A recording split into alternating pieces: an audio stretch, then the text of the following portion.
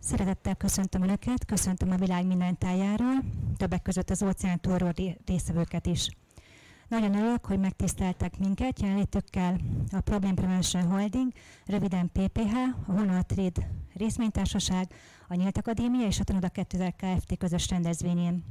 Én Bartatusek Níbolya vagyok, PPH igazgató. Bartatusek János vagyok, PPH igazgató. Tegeződve szoktuk tartani a képzéseket, remélem ez nem bántó senki számára, sőt nálunk mindenki tegezi egymást kortól nemtől függetlenül. A mai képzésünket a legnagyobb tudású és tapasztalatú mesterkocs és boldogság specialista, a szervezetünk alapítója és vezetője fogja tartani. Ő a Problem Prevention Holding, röviden PPH, a Hunol Trade ZRT, a Nyílt Akadémia, a Tanoda 2000 Kft. alapítója és vezetője, az egyik legelismertebb mesterkócs, személyiség és képességfejlesztő szakember. Nem volt a múltban sem ő, sem hozzátartozói kisztag vagy pártag, illetve vezetőbeosztású. Nem örökölt se vagyont, se rangot. Nem vett részt a privatizációban sem. 1987 óta szerzett tapasztalatot az emberekkel való helyes bánásmód területén. 1991-től lett tapasztalata a csapatban együttműködés területén. 93-tól rendelkezik tapasztalattal a cégvezetés, az ember és az élet működése, a személyiségfejlődés, a probléma megoldás, az emberek vezetése és oktatása területén. Több pénzintézet, több pénzintézet vezetője is volt a múltban. Jelenleg Magyarország egyik legnagyobb független spirituális szervezetének a vezetője. Irányításával a PPH négy különböző területen lett piacvezető. Nincs még egy olyan ember Magyarországon, akinek a vezetésével négy különböző területen lett egy szervezet piacvezető. Vezetésével már több százezer ember vett igénybe valamilyen életjobbító lehetőséget. Személyesen eddig több tízezer ember képzésében vett részt. Nem igazán jellemző, hogy ilyen óriási tapasztalattal rendelkező üzletember az egyének és a társadalom szellemi felemelkedésére tegye az életét. 1984 óta Budapesten él családjával. Feleségével, Marianna kiegyensúlyozott boldog családi élete van. Két fiúgyermeket neveltek fel. Ő nem egy olyan tanító, aki úgy akar az embereken segíteni, hogy az élete közben romokban haver. Csak olyan dolgokat tanít, amit használ is. 1987 óta szerzett kivételes tapasztalatai és hatalmas eredményei tették őt különleges tudású és képességű emberré. Szedlecsik Miklós úgy lett neves magyar tanító, kiváló eladó, illetve motiváló, hogy átlagemberként hatalmas kitartással és lelkesedéssel ért el eredményeit, szerezte meg egyedülálló tapasztalatait és tudását, az élet vezette a mostani útjára. A vezetőnk több különleges képességet kapott. Az ember és az élet működésével kapcsolatban hall vagy olvas valamit, ahhoz kap részletes információt és tudást. Képes az emberről és az életről szóló olyan információkat lefordítani a köznyelv számára, amelyet mások tanítottak, de azok legtöbb, em- de azok legtöbb ember számára értetlenek. Ha szükséges, képes személyek esetében is információt kapni a múltról és a jövőről. Ha az élet vagy az emberismerettel kapcsolatban új kérdés merül fel, gyorsan kap választ, hogy átadhassa az információt. Küldetése az emberek lelki fejlődése és olyan szintre emelése, hogy képesek legyenek szeretetben, békében és boldogságban élni azért, hogy bekerülhessenek az aranykorba. Szeretném megkérni vezetőnket, Szelecsik Miklós mesterkócs, hogy jöjjön és tartsa meg a mai képzést.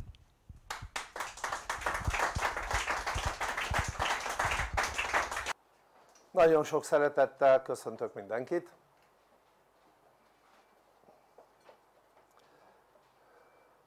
Jó időnk van, nem?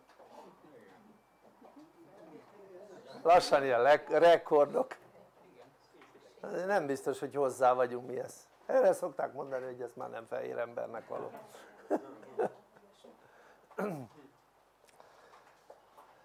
Tehát jöttem és nekem az autónak hőmérője az 39 fokot mutatott. Nem belül, kívül. No szóval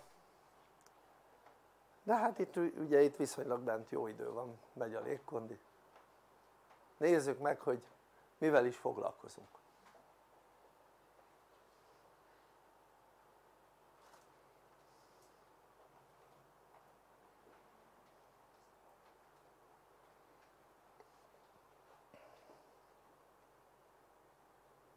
Ja ellenkezőleg kérjünk kócsképzéseket tartunk mit jelent a kócsképzés? a kócs azt jelenti edző. De a mi esetünkben mondhatnánk azt hogy személyedző de még közelebb talán azt mondanánk hogy ember és életjobbító. Tehát ha valakinek van az életében probléma ugye hol tudnak jelentkezni a problémák nézzük csak.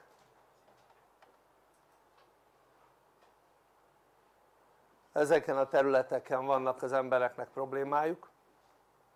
Tehát bármelyik területen jelentkezik valami probléma akkor egy képzett kócs képes arra hogy rájöjjön a probléma valódi okára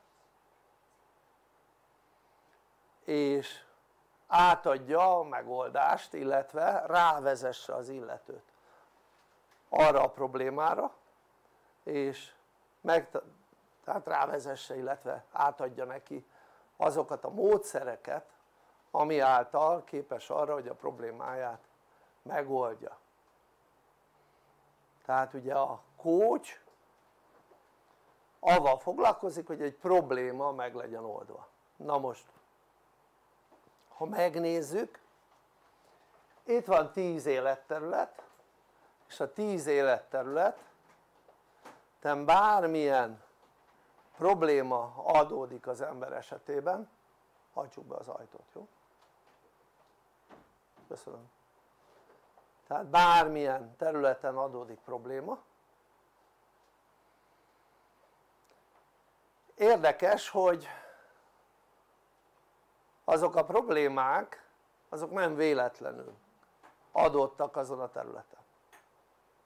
Abból a problémából maga a problémának az elemzéséből viszonylag pontosan kideríthető hogy az illető milyen életterülete nem úgy működik hogy kellene. Tehát ami annyit jelent hogy meg lehet találni a problémán keresztül hogy mind kellene változtatni az életben melyik dologban kellene változtatni. Na most azon túlmenően arra is rá lehet abból jönni hogy az a probléma hogy jött létre és ha az ember ismeri az ember és az élet működését akkor rájöhet arra egy problémából hogy az milyen következmények sorozatán keresztül jutott oda az ember ahova hogy ez a probléma létrejött minden probléma mögött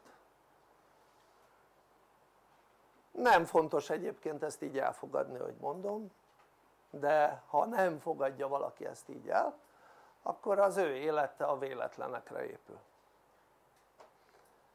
Én meg úgy tapasztaltam hogy az élet semmilyen szinten nem épül a véletlenre és senkinek az élete sem épül semmilyen véletlenre. Még annak se aki mondjuk nyert valamilyen szerencsejátékot.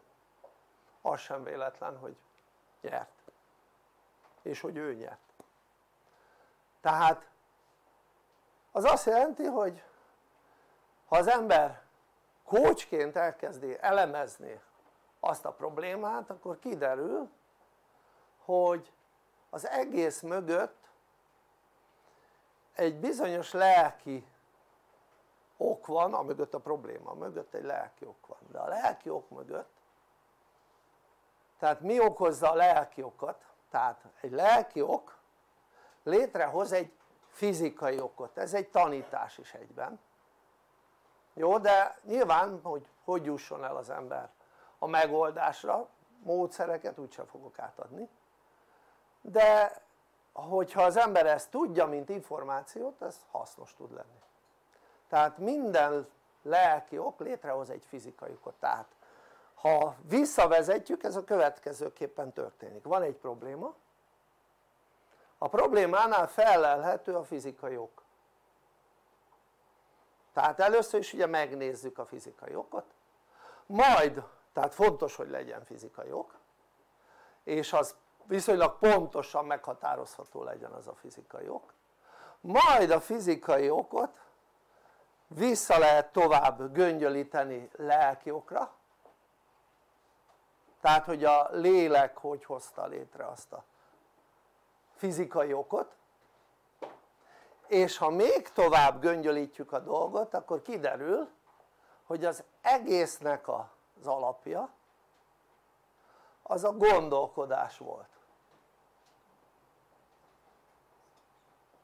Tehát egy lelki probléma illetve egy lelki nem egy probléma lelki oka az mindig gondolkodás helytelenségéből fakad. Tehát mindig minden esetben. Tehát ami azt jelenti hogy úgy alakul ki egy probléma hogy az illető nem helyesen gondolkodik ezáltal nem helyesen cselekszik a cselekedetének lesz egy abból lesz egy lelki probléma és a lelki probléma létrehoz egy fizikai problémát és az illető szembe kerül a fizikai problémával. És ott lesz a probléma előtte amit ha van tudása meg tud oldani ha nincs tudása nem fog tudni megoldani. Na most ezzel kapcsolatban bárki vitatkozhatna csak nem érdemes mert ez így működik. És ha az ember ezt tudja hogy ez így működik és ha kellő tudása van a gondolkodás működéséről ha kellő tudása van annak alapján cselekvésről és kellő tudása van arról hogy hogyan működik az emberben a lélek és kellő tudása van arról hogy hogyan jön létre maga a fizikai probléma a lelki okból akkor az ember pontosan tudja hogy ez így működik. És ezáltal minden olyan dolog amivel az ember találkozik az életében probléma az nem a véletlen szüleménye hanem az pontosan meghatározott eseménysorozat következménye. És ha ugye az ember tudja ezeket akkor pontosan tudhatja azt hogy itt semmi nem véletlen ebben az életben. Tehát minden probléma vagy bármi az életben ami történik az okokozati összefüggés alapján történik. Tehát minden okozatnak elég jól meghatározható oka van. És az okok mindig visszavezethetők lépésről lépésre a gondolkodásra. És ezáltal ha jobban végig gondoljuk egyáltalán nem mindegy hogy az egy ember képes-e és mennyire képes helyesen gondolkodni. És ha nem képes helyesen gondolkodni akkor a gondolkodása révén miket tud létrehozni? Ugye én ezt tapasztalom most már. Immárom pont 30 éve mert azóta van saját szervezésű csapatom. És 30 éve látom azt hogy a gondolkodás mit szül. Ráadásul már akkor valamilyen szinten elkezdtem ezt tanulni is hogy ugye a gondolkodásnak milyen létrehozó ereje van nem azt mondom hogy teremtő ereje hanem létrehozó ereje tehát a gondolatnak milyen létrehozó ereje van mert ha azt mondanánk hogy a gondolatnak milyen teremtő ereje van és akkor mi van mikor a gondolatoddal rombolsz oké? Okay? az éppen nem teremtés hanem annak az ellentéte a rombolás tehát ugye ezért bölcsebb meghatározás hogyha azt mondjuk hogy lét, milyen létrehozó erre, tehát mit hoz létre a gondolatot, oké? Okay? akár teremtést vagy akár rombolást és ha tovább nézzük ezeket a dolgokat akkor még egy kicsit megint egy kis tudás jó de a módszereket úgyse kapsz ehhez hanem hol kapsz módszereket? hát a kócsképzéseiken ez most csak egy ilyen bevezetője a tudásnak na most akkor nézzük tehát jön egy probléma és ugye ha visszamentünk akkor az onnan indult el hogy egy gondolat hozta létre a problémát mert gondolatok alapján cselekszünk oké? Okay? a cselekedeteink létrehoznak egy lelki dolgot na most igen ám de innentől hogy megy tovább a dolog? Mert bizonyos esetekben a lélek korlátokba ütközik. Ott nem ütközik korlátokba a lélek ami közvetlenül veled kapcsolatos. De ott korlátokba ütközik ami csak közvetve veled kapcsolatos. Tehát a közvetlenül veled kapcsolatos az azt jelenti hogy például mondjuk egy betegség vagy egy baleset az közvetlenül veled kapcsolatos. Ugyanis a betegséget azt te szenveded el a balesetet azt te szenveded el. Ezáltal ezeket a lélek létre tudja hozni közvetlenül. A balesetet nagyon egyszerűen tudja létrehozni. Figyelmetlenség. Nagyon egyszerű dolog figyelmetlenség. Tehát létrehoz egy figyelmetlenséget az egyénnél és ezáltal az egyén balesetet szenved. Világos ez? majd fogok arról is beszélni mindjárt hogy miért történik ez, miért csinál ilyet a lélek? A másik ugye a betegség. A betegség általában nem olyan gyors lefolyású mint a baleset tehát a baleset az egy ilyen hirtelen pillanatnyi szokott lenni a betegséghez hosszabb idő kell a betegséget létre kell hozni oké? Okay? és a betegséget létre tudja hozni a lélek de nem közvetlen módon hozza létre hanem úgy hogy a lélek közvetlen kapcsolatban áll az aggyal. És az agynak bizonyos részét fogja és azon keresztül, az agyon keresztül eléri hogy például maga az agy, ugye tudjuk milyen szerepet tölt be az agy azt a szerepet tölti be hogy az a központi számítógép, az a vezérlő tehát ha nem lenne agyunk akkor nem tudnánk cselekedni, oké? Okay? tehát az agyunkon keresztül cselekszünk és az agyunk működteti az összes szervünket az azt jelenti hogy ha az agy kap egy olyan utasítást hogy mit tudom én mondjuk egy szerv nem működjön olyan jól és a, az agy ezt az utasítást adja ki annak a szervnek hogy az nem működjön olyan jól akkor az a szerv nem fog jól működni. Világos ez? de ez nem a tudatos részünkön keresztül megy hanem ez az agynak egy olyan részén ami, ami ilyen önműködő teljesen, tehát önműködő rész.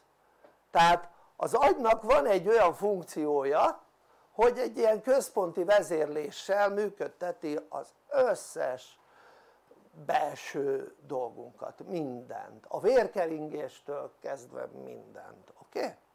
és ha az agy azt az utasítással adja ki bármelyik részednek hogy az nem működjön tökéletesen akkor az nem fog tökéletesen működni világos ez?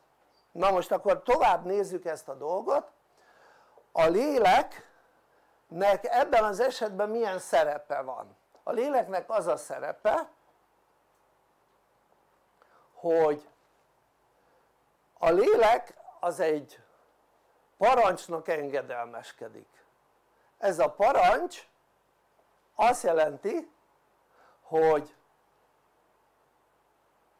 járj helyes úton oké? Okay? ez a parancsnak engedelmeskedik a lélek na ezért van az hogy van olyan hogyha valamit ártást csinálsz, ártó tettet akkor lelkiismeret furdalásod lesz tehát a lélek az elkezd az ellen tiltakozni hogy te ártást csináltál és ez úgy működik tehát hogy a lélek az mindig arra törekszik hogy hát ne csinálj ártásokat, világos ez?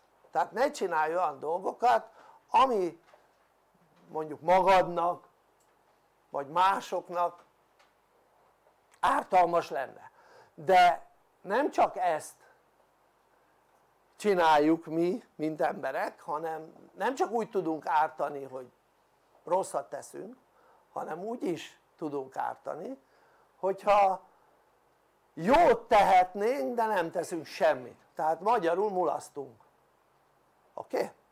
az is cselekvés mikor nem tesszük meg, meg amit meg kellene tennünk csak éppen amellett döntünk hogy mit tudom én, nem cselekszünk hanem mondjuk helyette olyan dolgot csinálunk ami kevésbé fontos lenne világos ez? na most tehát lényeg az hogy a léleknek van egy olyan szerepe hogy az, a lélek mielőtt leszületett megkapta a küldetését világos ez? tehát mi az hogy leszületett?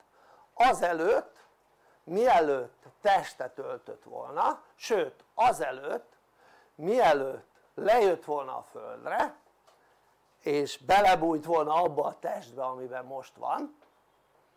Ez a fogantatás előtti időszakról beszélünk létközi állapotról beszélünk. A fogantatás előtti időszakban a lélek pontosan tudomást szerez arról hogy neki mi a küldetése.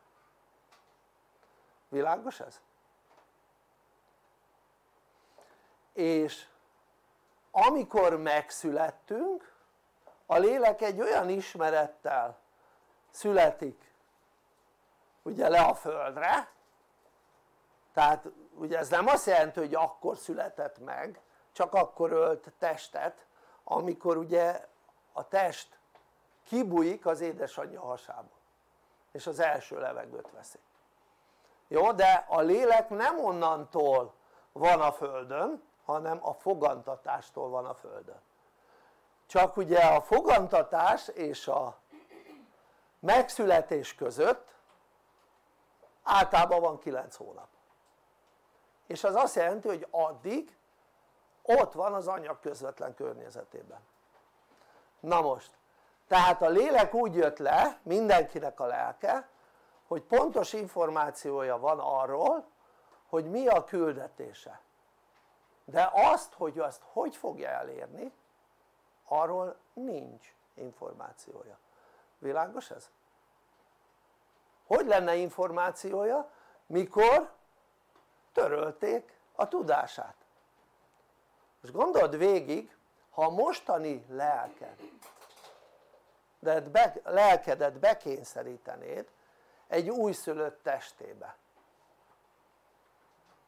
tehát itt vagy te mint ember azzal a tudással amivel létezel ugye azért tudsz gondolkodni mert van lelked. Ha nem lenne lelked nem tudnál gondolkodni. Na most gondold végig hogyha ezzel a lélekkel ami most van ezzel a gondolatokkal, ezzel a tudással amivel rendelkezel ez mondjuk kijönne ebből a kivennék ebből a testből és belekényszerítenék egy, egy újszülött testébe mi lenne veled? valószínűleg beleőrülnél tehát ez rosszabb lenne mintha börtönbe csuknának, világos ez? tehát egy csecsemő tökéletesen be van korlátozva, gondold végig egy újszülött. Tökéletesen be van korlátozva. Ez csak úgy bírja ki a lélek hogyha elvették a tudását, világos ez? nincs tudása. Tehát nincs tudás. Ha a lélekből elveszik a tudást akkor megkapják a tiszta szeretetet de a, a tudás nélkül a lélek semmire nem képes érted? semmire, se, még arra se hogy egyen az ember tehát még arra se tudja irányítani az embert a saját lelke hogy egyen, igyon, mit tudom én, szóljon hogyha pisilni kell, szóljon hogyha kakilni kell stb. stb. érted? még erre sem, még erre sincs tudása, gondold végig tehát van nekünk egy olyan lelkünk amely azáltal mikor lejött a földre tehát a fogantatástól gyűjti az információkat, gyűjti a tudást és van egy pontos ismerete hogy mi a küldetésed és ha a küldetésedről letérsz vagy megállsz a küldetés mondjuk nem térsz le csak megállsz az úton akkor fogja és mivel nem vagy képes rá hogy hallgass a saját lelkedre mert az csak jó állapotban lehet megtenni akkor ezért valahogy jelezni kell neked mint embernek hogy hoppá letértél az útról vagy éppen megálltál az úton. Tehát úton vagy csak megálltál. És ezért előidéz egy betegséget vagy egy balesetet amiből pontosan tudni lehet hogy mit rontottál el azelőtt mielőtt a problémát megkaptad, világos ez? de hogy mikor volt az az előtt ez most részletkérdés, ez nagyon érdekes mert azt tapasztaltam hogy a spirituális embereknél tehát a szellemileg magasabb szintű embereknél azoknál ez az időtartam rövidebb. Akik az anyagi világba zártak azoknál ez az időtartam hosszabb. Tehát magyarul létrehozta az egyén a problémát és még ugye a probléma nem jelentkezett tehát végig kell menni a folyamaton és amikor jelentkezik számára a probléma ott hosszabb idő telik el világos ez? azoknál a személyeknél akik magasabb szintűek ott csinál egy hibát és azonnal jelentkezik a probléma mondjuk 24 órán belül vagy még hamarabb oké? Okay? Na mondjuk 24 órán belül a bármi benne van. Jó? tehát ez így működik. Tehát ami azt jelenti hogy egy szellemi embernél sokkal könnyebb rájönni hogy mi lehet a problémája. Konkrét, pontos oka mert nem merült feledésbe. Világos ez? de egy olyan embernél aki az anyagi világ része annál ez egy kicsit bajosabb. Miért rosszabb hogyha később jövünk rá? hát azért mivel nehezebben jön rá az ember ezért az illető elkezdheti halmozni a problémáit mert nem tudja kiavítani magyarul ez a bünti mert anyagi ember vagy világos ez? miért nem fejlődsz? na most akkor nézzük tovább de vannak az életben nem csak két probléma van nem csak betegség és baleset van amit a lélek közvetlenül létrehoz hanem van még kétféle probléma. Hát van a családi probléma és van az anyagi probléma. Na most ezt a családi problémát, anyagi problémát nem biztos hogy közvetlenül fogod létrehozni hanem közvetve hozzák létre. Ami azt jelenti hogy a lélek kommunikál olyan felsőbbrendű lényjel akinek a közreműködésével létrejön az a probléma. Tehát mit tudom én mondok egy érdekes dolgot. Tehát létrejön például az a probléma hogy amit nem ő hoz létre. Mondok, mondok egy problém, egy tipikus problémát. A mai világban a nők erősödnek a férfiak gyengülnek. De a férfiúi ego nem engedi hosszú távon hogy a nők dirigáljanak a férfiaknak. Ezáltal ugye hogy ez sokszor megtörténik akkor a férfi elkezd más irányba keresgélni. Azon, tehát nyilván a nő nem, más nő nemű irányába keresgélni. És ha talál akkor fogja és megcsalja a feleségét. Világos ez? de azt hogy ő meg találjon és meg tudja csalni azt létre kell hozni. És azt már nem a lelked hozza létre hanem fogják és megszervezik hogy ez létrejöjjön világos ez?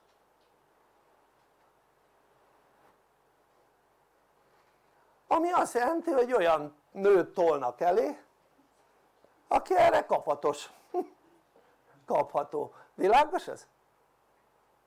és, és az illető nem tud ellenállni a kísértésnek és megcsalja a feleségét na most ebből biztos hogy bonyodalom lesz, családi probléma előbb-utóbb, világos ez? és ha ezt megnézed ezt a problémát ezt már nem közvetlen hozta létre a lélek hanem a lélek segítséget kért a teremtőtől, a teremtőjétől. Mármint ki a teremtőnk, csak hogy tisztában legyünk ezzel, nem az a teremtőnk akire a terem, te gondolsz az Atya Isten hanem az a teremtőd aki elérte hogy leszüles, világos ez? tehát aki elérte hogy leszüles a két lét, a létközi állapotból újra szüles na az a teremtő az az intézője annak hogy veled mi hogyan történjen kívülről. Ugyanis ő a főnök. Ő a főnöke a lelkednek és ő a főnöke azoknak az angyaloknak akik intézik hogy veled mondjuk olyan dolgok történjenek amit nem szeretnéd. Vagy akár szeretnéd ha jól teszed a dolgodat, világos ez? nem kell ebben hinni, én nem hiszek ebben hanem megtapasztaltam. Úgyhogy erről ennyit. Na úgyhogy ez sem vita kérdés. Jó tehát lényeg az de gondoljátok csak végig azok akik nem akarnak hinni ilyen dolgokban hogy melyik a jobb. Hogyha én ezeket tudom és ennek alapján élek és ezáltal az életem pontosan arra halad amerre én szeretném vagy egyszer rábízom a, a szerencsére a sorsom alakulását. Gondoljátok végig melyik a jobb neked. Én mindig úgy nyíltam ki egy újra úgy váltam nyitottá egy újra hogy megnéztem hogy melyik a jobb nekem. Az amit régen gondoltam vagy ahogy régen csináltam vagy az a jobb nekem ahogy új információként hallottam. És mindig el tudtam dönteni hogy melyik a jobb. De úgy látszik a mai világban az emberek már a saját érdeküket sem veszik figyelembe. Hanem egyszerűen a tudatlanságuk legyőzik a saját érdekeiket. Na most mondok példát. Ha én egy olyan világban élek ahol rajtam akarnak kísérletezni mondjuk olyan szerekkel amit nincs kikísérletezve akkor én azt mondanám hogy ez nekem nem érdekem világos ez? hogy engem nem nézzenek kísérleti nyúlnak mert az nem az érdekem mert ha már valami ki van kísérletezve az egy más dolog mert már bebizonyították hogy működik de ha valami nincs kikísérletezve akkor nincs bebizonyítva hogy az működik jó? szóval lényeg az hogy az embereknek a, az érdeke az kevésbé fontos mint a tudatlanságuk. Tehát a tudatlanságuk miatt egyszerűen nem foglalkoznak olyannal hogy, hogy mi az ő saját személyes érdekük. Ugye azért ebben kapcsolatban csak annyit szeretnék mondani hogy van egy felsőbb kapcsolat amelyel ugye kommunikálok de ezt akár olyan szinten tudok kommunikálni ha szükséges hogy, hogy mintha most így párbeszédet folytatnánk. És de ez nem kell nekem hangot kiadnom csak gondolatban. És gondolatban ahogy kérdezek vagy mondok valamit küldik a választ.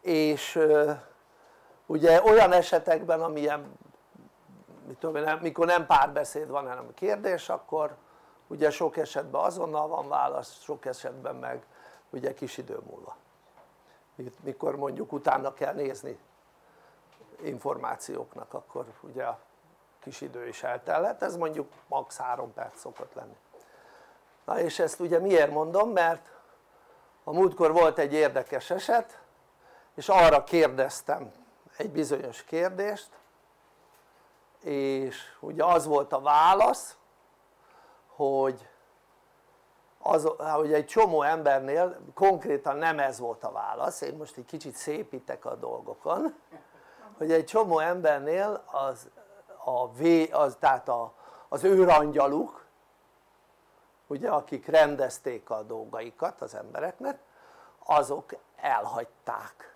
az embereknek, embereknek, embereket. Tehát elhagyták. És konkrétan megmondták hogy kiknek hagyták el az őrangyalaikat vagy az őrangyalok az embereket. És ugye hát ennek mi lesz a, mi a következménye? Az hogy az illető az sokkal könnyebben fog a halál felé haladni mint, mint ha az őrangyal sertepertél ott körülötte. Szóval lényeg, lényeg az hogy hogy érdekes világban élünk de akkor térjünk vissza erre az, ő, a, az itt lévő szellemlények ugye segítkeznek abban hogy megtörténjen egy emberrel az az, az esemény aminek meg kell történnie. És ugye ezek általában úgy működnek hogy próbálják ráhelyezni az illetőt arra az útra amin, amin neki haladnia kellene vagy ugye próbálják, próbálnak taszítani egyet rajta ha az útján van csak éppen megállt vagy éppen mondjuk visszafelé halad akkor megfordítják ha meg csak megállt akkor ugye taszítanak rajta egyet hogy haladjon. És, és ezt mindig föl lehet minden helyzetben deríteni hogy az most mi volt ténylegesen ami az illetővel történt.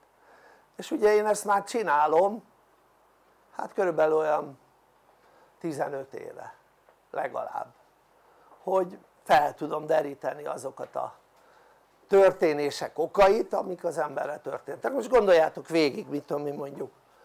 Történik egy autóbaleset. Mondjuk két autó összeütközik. És ül abban a autó, két autóban mondjuk hét ember. Négy egyikben, három a másikban ha mind a héttel csinálunk egy beszélgetést és megnézzük a baleset helyszínét megnézzük az autók sérülését a hét ember esetén és a hét embernek külön-külön föl vannak téve kérdések nem egyszerre. Tehát nem a baleset körülményeiről van föltéve hanem az életükről. Akkor mind a hét embernek pontosan meghatározható hogy ő neki milyen figyelmeztetést tehát mire figyelmeztette az az esemény, az a baleset. Tehát hogy neki mint, mindig ugye két dolog van amire figyelmeztetést kapunk hogy van, vagy nem az utunkon vagyunk vagy az utunkon nem haladunk. Tehát mindig ez. És de ugye pontosan abból meghatározható abból a helyzetből hogy neki mit kellene csinálni. Tehát olyan, olyan szinten meghatározható hogy abból a helyzetből pontosan meghatározható hogy ő elkezdett mondjuk másként gondolkodni és amiatt a másként gondolkodás miatt mint ahogy előtte gondolkodott amiatt a másként gondolkodás miatt mondjuk kapott egy balesetet hogy ész, észre térítsék őt stb. stb. tehát minden ilyen helyzet ami, ami külső összeszervezést igényel, csak mondok egy példát volt az a nagy buszbaleset ahol gyerekek mentek síelni vagy jöttek hazafelé mindegy és meghaltak sokan emlékeztek? pár évvel ezelőtt volt na most hogyha ott mindenkivel aki a buszon ült meg a szüleivel interjút lehetett volna készíteni akkor pontosan meg lehetett volna határozni. Nyilván most nem a halottakról van szó de ott, ott meg a szülőkről. Tehát a szülőkkel szülőkre visszavezethető a haláleset lényeg az hogy mindenkinél külön-külön meg lehetett volna határozni hogy min kellene az életükön változtatni, nem tudom elég világos voltam-e. Hát lehet hogy valaki úgy gondolja hogy ez nem fontos. Csak tudod úgy működik hogy azért született le mindenki a földre hogy beteljesítse azt a küldetést amit a lelket tud hogy be kellene teljesíteni na most viszont van egy olyan hogy ego és az egóhoz kapcsolódik egy szabad akarat. Az ego az nem a lélekhez kapcsolódik hanem az a, az agyunkhoz kapcsolódik egy olyan részhez ami ami hát a valamilyen szinten a túléléshez kapcsolódik. És annak alapján adja ki az utasítást amit ő úgy lát hogy a, az némi nemüleg a túlélésedet segíti de nyilván önálló gondolkodásra az ego nem képes az a teljesen a múlt tapasztalataira hagyatkozik teljes egészében ezáltal ugye mivel gondolkodni nem tud a gondolkodás az tudod mit jelent? a gondolkodás az a mérlegelést jelenti az esélylatolgatást és az olyan helyzetek felismerését ami a jövőben történhet amit, amit az ego ilyenekre nem képes jó? tehát a gondolkodás mikor gondolkodunk akkor éppen lélekvezérlésűek vagyunk amikor nem gondolkodunk és, és csak úgy cselekszünk és, ez, és akár szavak is hagyják el a szánkat közben akkor ugye ez nem lélekvezérlés hanem ez egóvezérlés.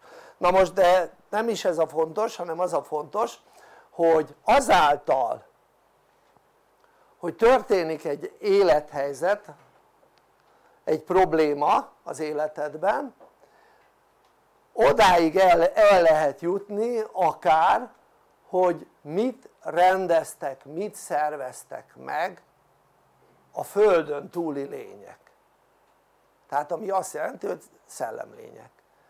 Milyen dolgokat kellett megszervezni? Tehát most mondok egy példát. Hogyha mondjuk lezuhan egy repülő ott meg volt pontosan szervezve hogy az a repülő lezuhanjon nem emberek által. És hogy kiutazzon azon a repülőn. Világos voltam? tehát akkor is amikor ott meghaltak a gyerekek sajnálatos módon a buszban meg megsérültek ott pontosan meg volt határozva hogy kinek kellett ott ülni és kinek kellett mondjuk meghalni megsérülni kisebb-nagyobb mértékben vagy éppen sértetlen maradni világos ez? jó? tehát ez minden pontosan meg van szervezve, semmi nincs a véletlenre bízva tehát például az a buszbalesetnél sem volt véletlenül se egy olyan ember se akinek nem kellett volna mondjuk meghalni de meghalt, világos ez? tehát amikor az ember az életében halad és történik vele esemény akkor a következő történik akkor ugye mint mondtam terelgetik arra felé amerre haladnia kell de ha az illető egója erősebb mint a lelki sugallata vagy akár mint a különböző problémákból felmérhető tudás mert a problémákból felmérhető a tudás és mégis az ego alapján halad az illető akkor ez azt jelenti hogy esélye sincs annak hogy arra felé tuszkolják amerre neki a küldetése mutat, világos ez? Ezért fogják és az ilyen embert leoltják tehát kikapcsolják az élők sorából, világos ez? és tök mindegy hogy hány éves az illető. Fogják és az élők sorából kiveszik. Tehát ezért ha végig gondolja az ember egy kicsit jobban járna mindenki egy kicsit több tudással rendelkezne avval kapcsolatban hogy hogyan működik az élet és hogyan működik az ember jó? már csak azért is mert például azóta mióta ezt a tudást ugye megkaptam és, és nézegetem az emberek életét és a, ugye erre hála Istennek nem kis lehetőségem van ugye minden esetben látom hogy aki elment át meghalt annak épp ott volt az ideje hogy meghaljon tök mindegy hogy hány éves volt világos ez? na most ha az ember rendelkezik olyan tudással hogy fel tudja mérni hogy vajon valaki tette a dolgát és a, annak milyen következményei lesznek vagy nem tette a dolgát és annak milyen következményei lesznek. Ha ez ilyennekkel az ember tisztában van akkor a haláleset az soha nem olyan kérdés amit nem tud megérteni. Nem tudom elég világos voltam-e.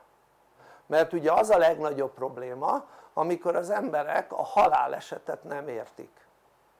Például mit tudom én meghal egy 20 éves és a közvetlen kör aki körülvette azt a 20 évest az egyszer nem érti hogy neki miért kellett meghalnia 20 évesen de lehet az egy 50 vagy 60 vagy 70 éves is hogy nekik miért, neki már miért kellett most meghalnia. Világos ez? na most ha az embernek van tudása avval kapcsolatban hogy mik az okozatok és azok miből jönnek létre, hogy jöhetnek létre akkor a halál is csak egy okozat világos? és onnantól kezdve pontosan tudja az ember hogy az ő életének azért kellett itt befejeződni mert itt volt a tényleges vége tehát senki nem hal meg úgy hogy véletlenül érted? hogy az nem meghatározott volt az a haláleset na most onnantól kezdve gondold végig a jövő egy szempontból lesz nehéz nagyon sok embernek hogy hogy fogják elviselni azt a töménytelen, szokatlan halálesetet ami a jövőben lesz.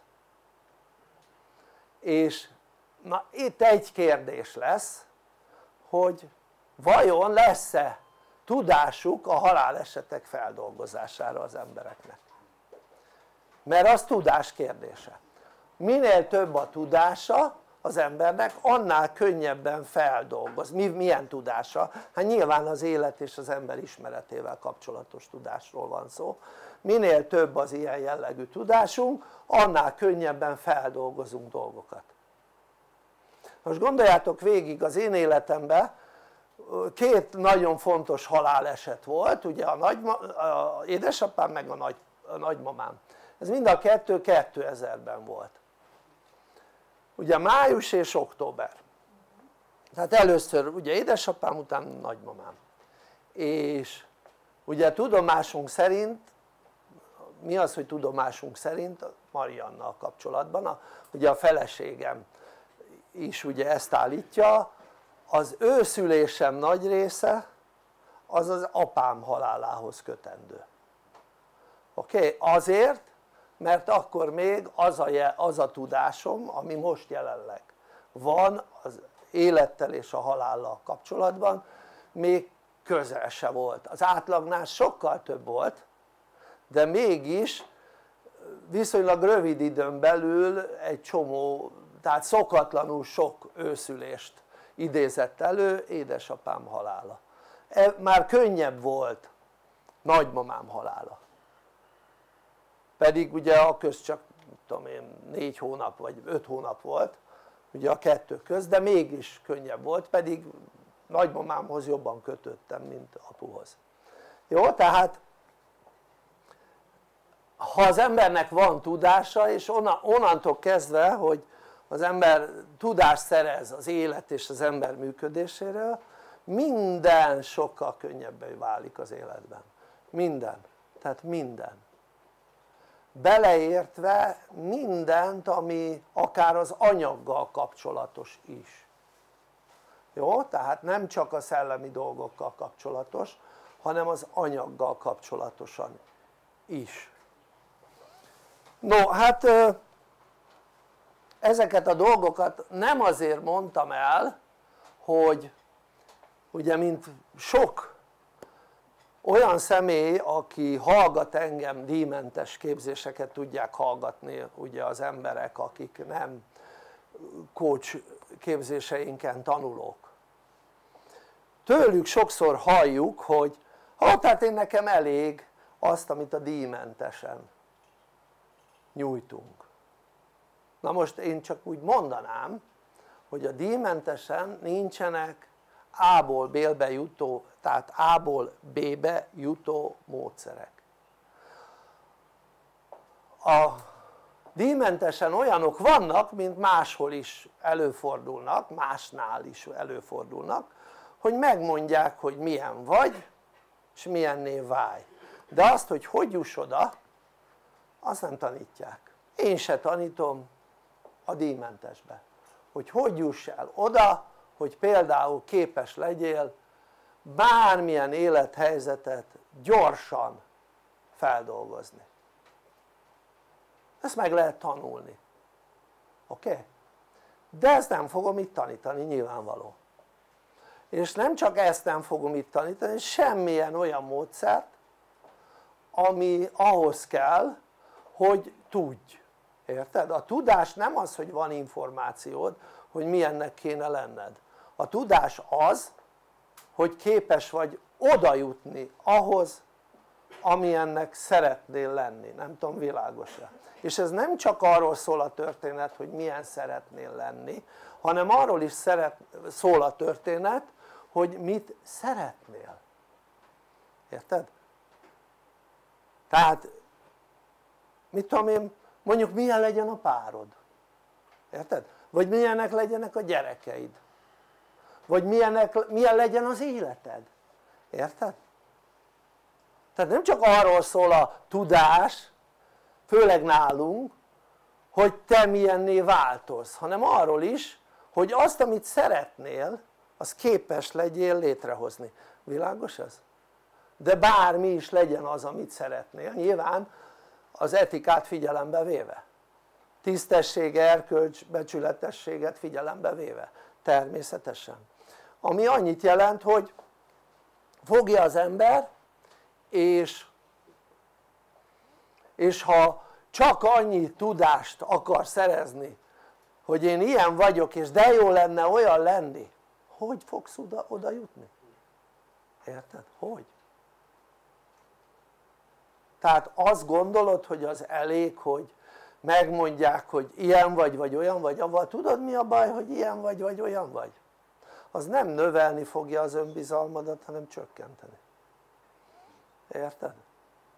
tehát az önbizalom akkor fog növelni hogyha te tudod vagy növekedni hogyha te tudod na hova tettem? vagy nem is volt ott semmi? nem volt, jó az önbizalmad akkor fog növekedni hogyha te tudod hogy hogy válsz olyanná, világos ez? tehát hiába szeretnél valamit ha nincs oda vezető út, érted? tehát hiába szeretnél mit tudom én mondjuk eljutni mit tudom én tájföldre csak most eszembe jutott valahova valami érted? egy ország ha nincs oda vezető utad világos ez? nem tudsz oda eljutni tehát az emberek abban merítik ki az életüket hogy vágyakoznak a gazdagok tudod mire vágyakoznak? Hm? amit nem kapnak meg? szeretetre szeretetre, azt nem kapják meg és azzal múlik el az életük hogy nincs része szeretetükben, szeretetben mert érdeket látnak minden ember mögött, világos ez? a szegényeknek vagy a többieknek meg mi a, a vágyakozás? hát hogy mit szeretnének elérni, mit szeretnének megvalósítani vagy akár milyenné szeretnének válni és tudod mi, mitől függ az hogy mit szeretnél? hát és hogy azt el tudod elérni mert ugye az a kérdés, nem az a kérdés hogy mit szeretnél hanem hogy el tudod elérni hogy mit szeretnél hát attól függ hogy neked mennyi ismereted van arra hogy hogyan juss el A-ból B-be, világos ez? és ha a te működésed olyan hogy képes a tudás által hogy képes vagy arra hogy amit elképzelsz azt meg is valósítsd, na ez sima tudás. Tehát ez semmi más nem kell csak tudás. Hogy amit elképzelsz az képes legyél megvalósítani, érted?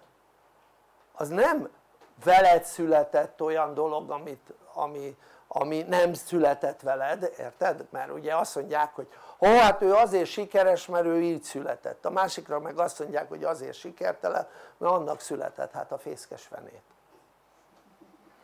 mindenki sikeresnek született csak vannak akik ebben a kérdésben elmaradtak oké? Okay? hát most gondold végig minden ember küldetéssel született és nem születtél volna úgy le hogy te nem vagy képes a küldetésedet megvalósítani világos ez? tehát senki nem született le úgy erre a bolygóra hogy amit bevállalt küldetést nem képes végrehajtani és akkor ehhez képest te azt gondolod magadról hogy te nem vagy képes mire nem vagy képes?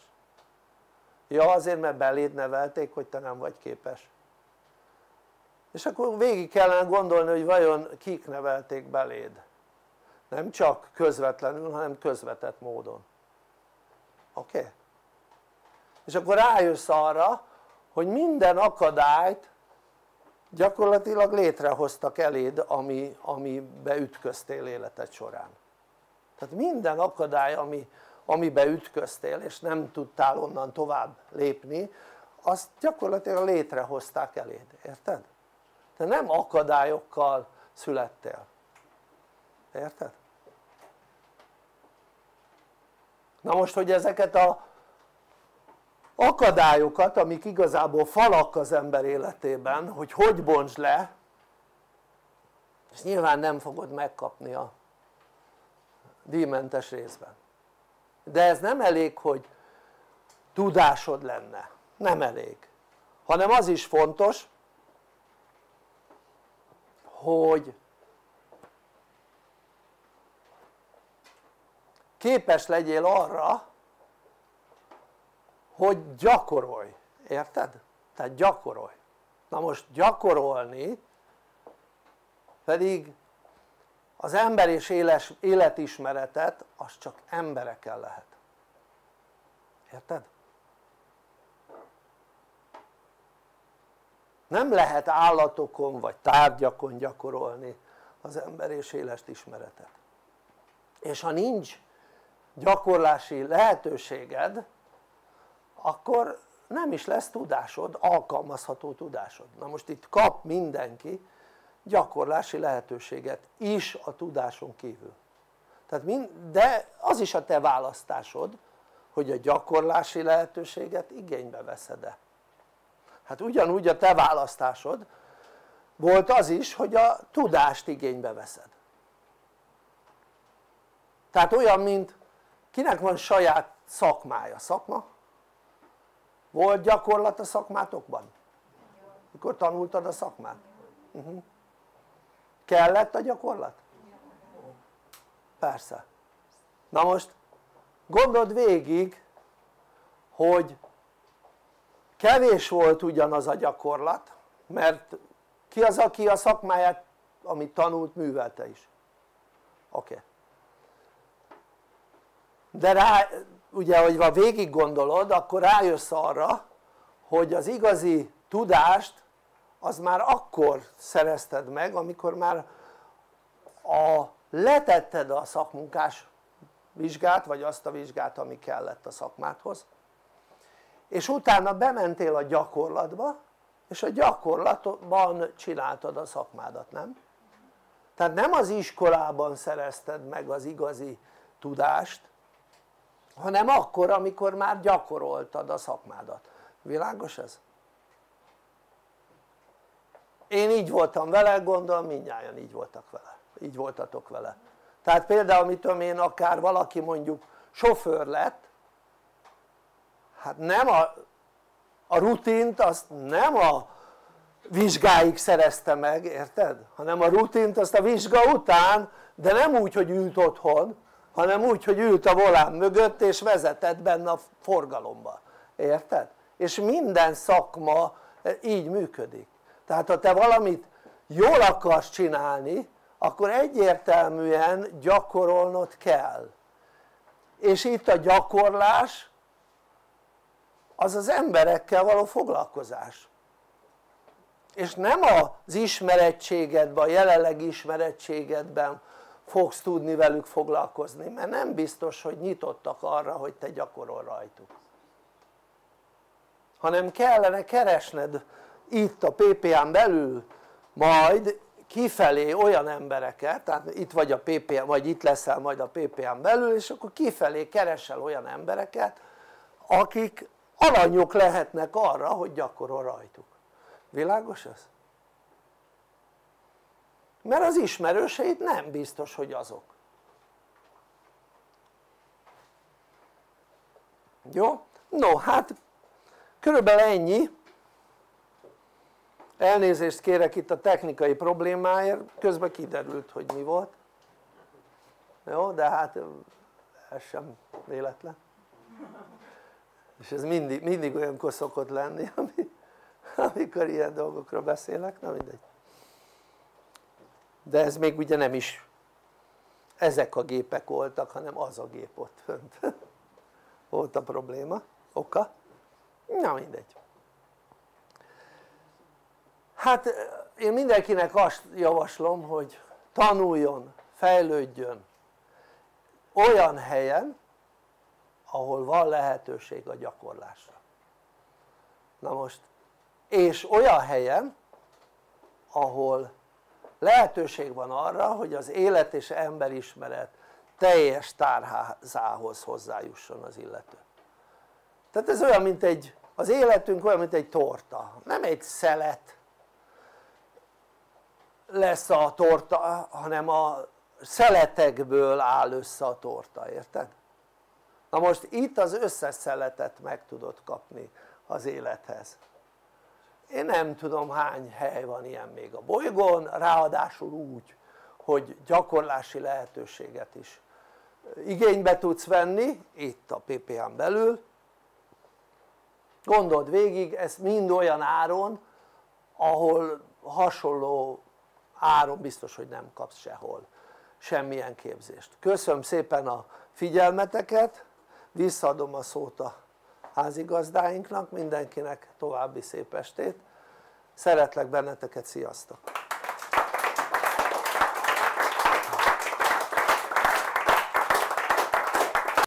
Köszönjük szépen Szedlacsik Miklós mesterkósnak a képzést, elő, bemutató előadást. Hát egyetértetünk benne, hogy egy fantasztikus téma volt megint előhozva. Elgondolkodtató, azt Mindig mondom. élmény itt lenni személyesen. Azért is jövünk ki a sűrűn. Jobb, mint otthon monitor elő. Civil foglalkozásom eredendően vasesztergályos. Hát nem sokáig gyakoroltam ezt a szakmát. Ugye az előbb kérdésnek fel volt, hogy meddig gyakoroltunk, nem sokáig, mert kötöttem nekem, ez nem ment. Kerestünk érdekesebb dolgokat. Gyuláról jöttem, családi helyzetem a feleségem mellettem már van egy kislányunk. A Nyílt Akadémiánál azért kezdtem el tanulni, mert megmutatták a föntiek a lehetőséget. Egy reklámra rákattintottam Facebookon, kinyílt a csipám, hogy ilyen is van a Földön, lehet találni ilyen akadémiát. Fogalm nem volt róla, hogy ki a Szedlacsik Miklós. Nem tudtam, hogy milyen háttér van mögötte, nem tudtam semmit. Egyszerűen ismeretlenül kezdtem el az egészet. És azt lehet mondani, hogy egy pár hónap után elbűvölt a lehetőség. Elbűvölt a mester, aki itt van, mert olyan tudást kaptunk, olyan lehetőségben nyílt betekintésem, amiről álmodni sem mertem volna, hogy egyszerűen van ilyen valahol is. Sőt, ilyen közel van, pont Magyarországon, pont a közelünkbe. Pont személyre van szabva. És már itt bele is mentem abba, hogy mit adott a Nyílt Akadémia nekünk. Egy új életet, új lehetőségeket. Kinyílt a világ, tanultunk új megoldásokat, hogy kell csinálni dolgokat a legegyszerűbb a magas szintűkig. Ugye amikor elakadtunk, akkor a Szedlacsik Miklós mindig segített benne, hogy na most akkor ezt kéne csinálni, hogy tovább tudjatok haladni az életben. És ez óriási dolog, hogy ilyen tapasztalatok vannak. És hát adott egy nagy csapatot is. Egyre nagyobbat, ami szintén olyan dolgokat tud adni, ami elképesztő, hogy tanulhatunk abból, amit mások megélnek, hogy ta- tudunk benne tanácsot adni. Igazi bolya? Ez így van, ezt én is alá tudom támasztani. Mint ahogy párom elmondta, Gyuláról érkeztünk, egyre boldogabb házasságban élünk. Én eredendőleg kereskedelmit végeztem, aztán hát dolgoztam benne egy jó pár évet. Mellette mi már elég régóta kerestük az utunkat, nagyon sok képzésen vettünk részt, de nem kaptuk meg sehol azt, amit igazából szerettünk volna, hogy igazából megtudjuk, hogy miért is vagyunk itt, és igazából, hogy én mindig vágytam arra egyébként, hogy egy olyan dolgot csináljunk, ami ö, tehát maradandó. Erre azt értem, hogy ö, hát az emberiség. Tehát engem ez mindig érdekelt, és hát itt megtaláltuk azt, azt a ö, lehetőséget, hogy tényleg ebben foglalkozzunk, és mellette megtalál, megkaptuk azt a mestert és tanítók, tanítót, aki át tudja ezt nekünk adni, és el tud minket juttatni. Valóban egy, egy olyan ö, életet tudunk élni, avval a tudással, és ha használjuk, azokat a módszereket, amiket itt kapunk, hogy tényleg egyre boldogabbak tudunk lenni. Valóban egyre, mint ahogy az első részben elmondta, hogy ha van tudásunk, akkor egyre könnyebb az életünk, és ez valóban így van. Ezt mi tapasztaljuk már hat éve, és hál' Istennek már nem csak mi, hanem aki itt tanul, mert látjuk a csapaton belül is, hogy valóban mennyit változott az élete. Én annyi felismerés, mint amit mióta itt tanulok, sehol nem kaptam. Ezek nem mindig esnek jól, de a felismerésekből születnek a megoldások, és hogyha azt megoldjuk, akkor tudunk tovább lépni. Akkor tudunk egyre jobban érvényesülni az életben. És az is biztos igaz, hogy itt azért is tudunk olyan gyorsan fejlődni, mert uh, itt van gyakorlási lehetőség. És azt is megtapasztaltuk, hogy uh, igazából mi azért nem tudtunk uh, valóban úgy fejlődni, amit itt hat év alatt mi kaptunk, mert nem volt gyakorlási lehetőségünk. Nem volt meg ez a rendszer, ami itt van. Tehát én arra gondolok, hogy itt minden szerdán, vasárnap képzések vannak, és tehát benne vagyunk mindig, mert ha ezt nem, nem hallgatjuk, tehát nincs a mindennapjainkban, akkor egy idő után ez így elmúlik. Tehát azt tudom mondani, ez olyan, mint ha elolvasol egy könyvet, lehet, hogy benned van még Nincs rád hatással. igen, Nincs igen, hatása. igen.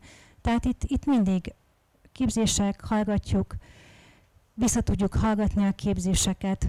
És én azt is megtapasztaltam egyébként, hogy már csak attól egyébként, hogy visszahallgatom, a, tehát mindig hallgatjuk a képzéseket, ez olyan, mintha nem mindegy, mit hallgatsz és mit nézel, és mi megy a memóriádba.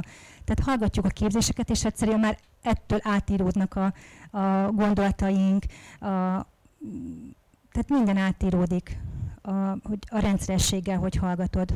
Meg hát persze az, hogy használjuk is azt a módszert és tudást, amit itt kapunk.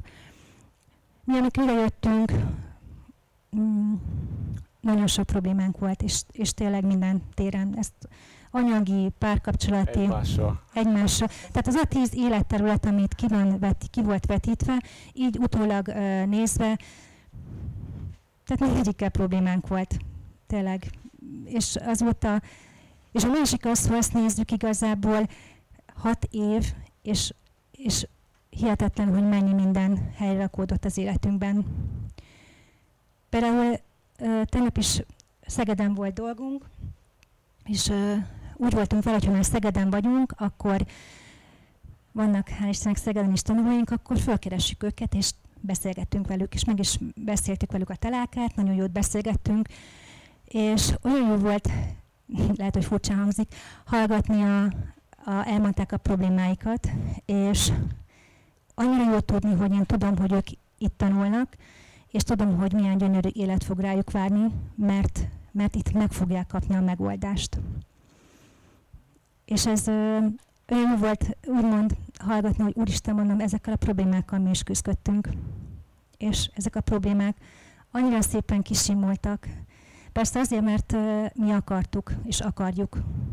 A másik pedig ebbe is biztos vagyok, és tudjuk és tapasztaljuk, hogy azért is, mert mi olyan dolgot végzünk, ami az emberiségért van, és ezt annyira támogatják az égiek, hogy, hogy szinte néha hihetetlen. Tehát tényleg Úgyhogy aki most hallgat minket először, vagy már régóta, ne gondolkozzatok rajta, én mindig ezt mondom. Ezt mindig el szoktam mondani, amikor lehetőségünk van rá, mert múltkor azt mondtam, hogy nem veszítesz semmit, befizeted, de nagyon sokat veszítesz, ha, ha csak az első részeket hallgatod, mert igazából a második részben vannak a, a módszerek, a tanítások, és igazából valóban abból fogunk tudni az A-ból a jutni és egyre hát, jobb mondta Szedlacsik Miklós, ugye felhozta, hogy az első részeket nézegetik és megelégednek vele. Azért elégednek meg vele, mert nem tudják, hogy mi van a második részben. Így van, így van egyébként. Ez így van. Mondjuk mindig elgondolkodható, mert most is, amit kaptunk információt, de ezek csak információk, tehát nem a tanítás része. Ez még kevés ahhoz, hogy tényleg eljuss A-ból a B-be.